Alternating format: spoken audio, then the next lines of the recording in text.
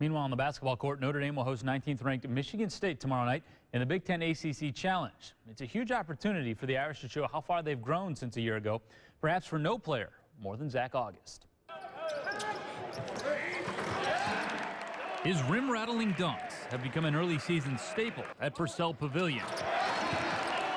If I have good good looks, my, my teammates are gonna find me, um, and, and, I'm always gonna try to find a way to get a dunk in there, here and there. But I think that's that's something that you know energizes me as well as my teammates and as well as the crowd.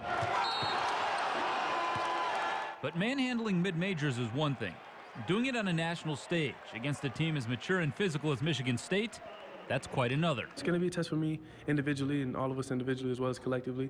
Um, I'm looking forward to playing them, um, and you know I'm trying to trying to make a statement. You're kind of looking at this as a litmus test in terms of how far your game has come since last year conference play. Yeah, yeah, definitely. You know it's going to be a test for me. Um, I just you know I can't get carried away with the, with the energy and the crowd and everything. I just got to continue to play my game. So far, Auguste game has been indicative of Notre Dame's strength this season.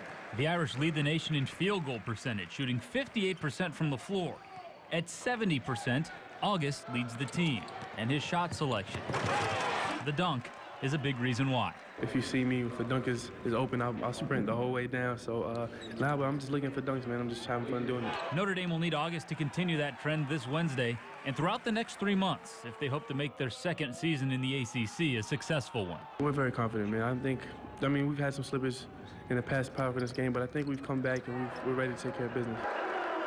So Irish play tomorrow in the ACC Big Ten Challenge. Purdue and Indiana both play their teams tonight. We'll have those highlights coming up at 11. He's a hard guy to stop when he gets around that rim, isn't he? Yeah, he's so strong and powerful and explosive. But again, as he admits, doing it against the mid-majors is one thing. Doing it against quality opponents like they'll get in Michigan State tomorrow, quite another. We'll see how far he's come.